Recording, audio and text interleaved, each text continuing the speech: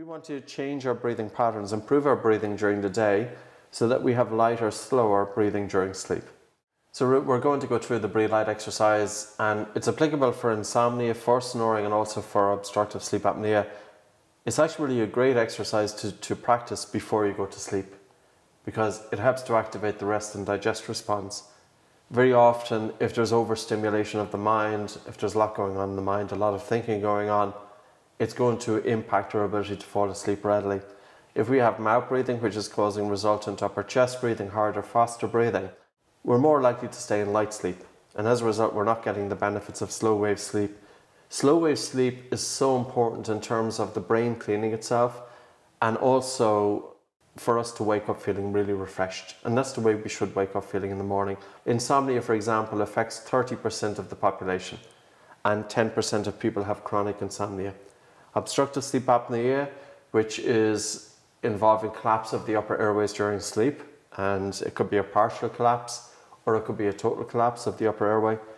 This in turn affects between 25 to 50% of men, and it affects about 10% of women up to about the age of 50 years of age, but it increases threefold thereafter.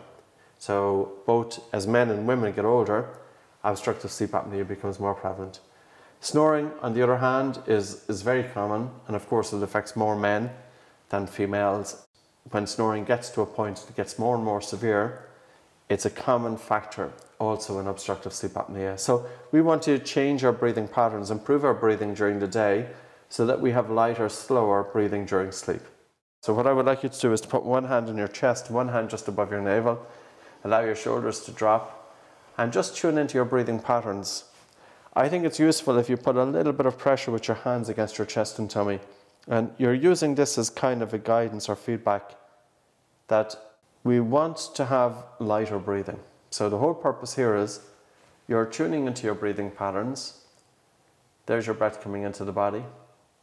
And now I would like you to gently soften and then slow down the speed of your breathing, not to hold your breath. That's a soft breath in, that looks really good. And now you have a relaxed and slow, gentle breath out.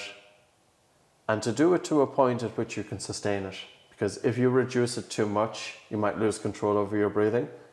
If you reduce the volume of air too little, you're not going to feel that sensation of air hunger. So we want to feel the sensation of air hunger so you're taking a very soft and slow, gentle breath coming into your body. And then you're having a really relaxed, really relaxed and slow, gentle breath out. And using this as a means of breathing light and breathing slow to help activate the body's rest and digest response. But more importantly, if your breathing becomes a little bit unstable, you just take a rest for about half a minute or so. So just normally breathe for a half a minute and then you come back to it. So it's very normal that when, for example, you're doing the breathe light exercise, there's a point at which the air hunger may be a little bit too much and your breathing then gets faster. You might have involuntary contractions of the diaphragm. You might feel a little bit stressed with it.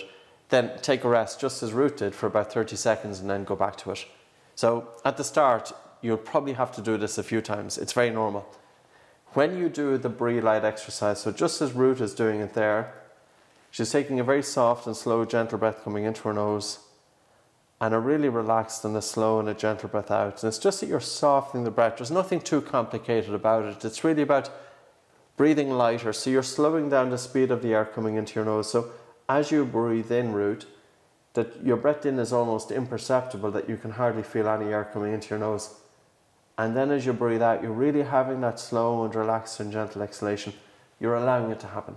So literally allowing the breath to soften to the point of the air hunger. There's your breath coming in and your breath has gone a little bit unstable there. You see that it's, it's picked mm. up and speeded up and then you just take a rest. And that's normal. And again, the same thing happens. And it, this is going to be happening you as well. So don't get too frustrated with it. It's normal.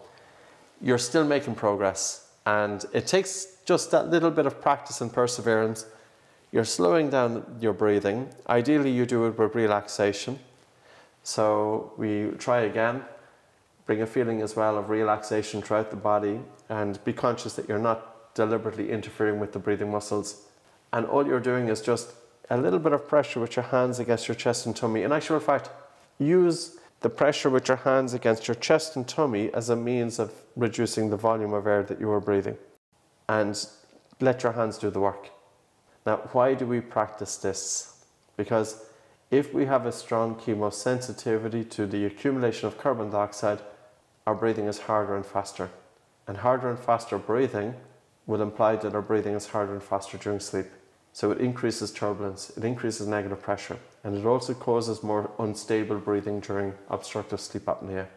So we want to reduce the body's chemosensitivity to carbon dioxide, have a really slow, relaxed, gentle breath out there, and then a very, very soft and slow, gentle breath in. Soft, soft, soft, soft, soft, and a really relaxed and slow, gentle breath out. And I would like you to soften your breathing even a little bit more. So that's your slow, gentle, relaxed breath out. And now that really soft breath in, hide your breathing so I don't see as much movement. So you're hiding your breathing, not to hold your breath at the top, now to just gently slow down your breath, gently slow down your breathing. So you're having that slow, relaxed exhalation, and then that really soft, that soft breath in, instead of just the full breath coming in. So this is a perfect exercise to practice, but it's getting the balance and pay attention to if there's any change in the saliva in your mouth. Ideally, when you practice this, you want to be activating the rest and digest response.